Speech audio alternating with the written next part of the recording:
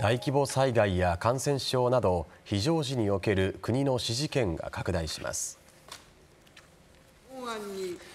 新型コロナへの国と地方の対応をきっかけに議論が続けられていた改正地方自治法が今日、参議院の本会議で可決・成立しました。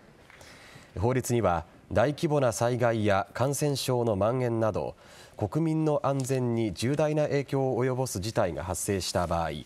個別の法律に規定がなくても国が自治体に対して必要な指示ができる特例が盛り込まれています。国の指示が行使された場合それが適切だったか検証するための国会報告も義務付けられていますが国の指示権が将来なし崩しで適用されるなどの懸念の声や地方分権の流れに逆行すると反発する声もあり政府は運用にあたって丁寧に説明をしていくとしています。